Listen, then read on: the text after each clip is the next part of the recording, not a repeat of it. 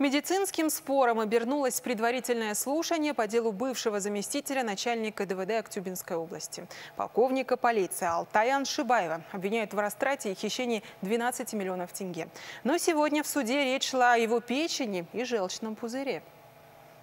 В деле представлены ложные заключения специалистов УЗИ, из которых следует, что у него вдруг появился орган, который вырезали за 6 месяцев до этого.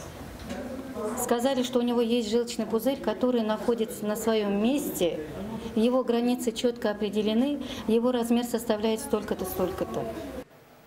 На основании этого документа Алтаю Аншибаеву сегодня отказали в изменении меры пресечения. Экс-полицейский ждет суда под арестом по обвинению в растрате. По версии прокуроров, будучи начальником ДВД, он растратил 12 миллионов тенге.